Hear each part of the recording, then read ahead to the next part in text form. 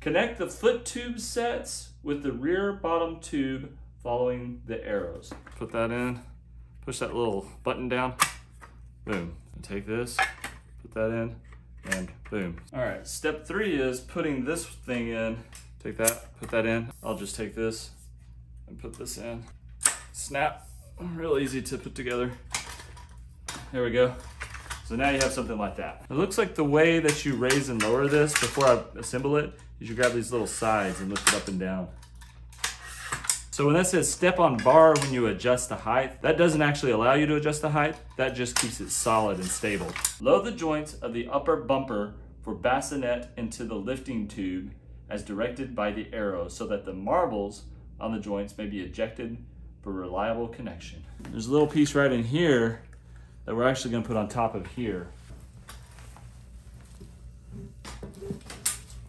Okay, so when you put those pieces on, they're only gonna go on a certain way automatically. So now you're gonna take this with those little pegs down, and it wants me to load the guardrail with this facing up. And you can only be put on one way. Put it in, snap, put it in, snap. That's the only way it can go in. Insert the welded short iron supports of support into the plastic cement on the tube set as directed by the arrows.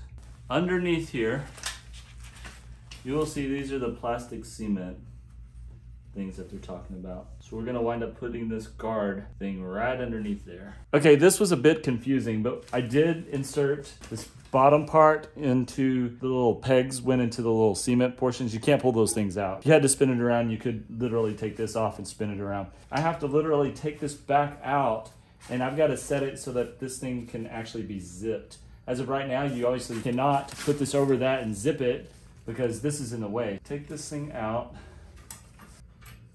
That's why that's removable, by the way. And then I think I've got to feed it through here. It didn't really say anything about that, but I think that's the only way to do it. A little confusing. There we go. All right, so I've got that fed through there. This is exactly what's supposed to happen. It took some brain work there to figure that one out, and then put those back where they were before. Now you can zip this on top of that.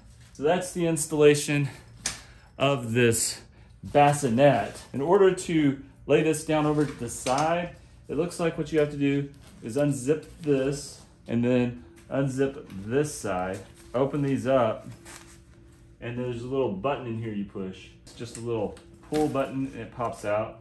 Slide it back, slide it up. That goes like that. That hangs down. So now you can access your baby on the side of the bed. These straps literally wrap around your bed so that this thing will not fall away from your bed. So you use those straps, they go all the way around your bed and you would strap them in and lock them in on this area right down in here. And also these little things are to be used to keep the bassinet a little secure. Comes with a little baby mattress and a little uh, mattress cover as well. I appreciate Sync sending this to me. I think this is a great product. That is the assembly of this thing. So there you go. Hopefully that helps you.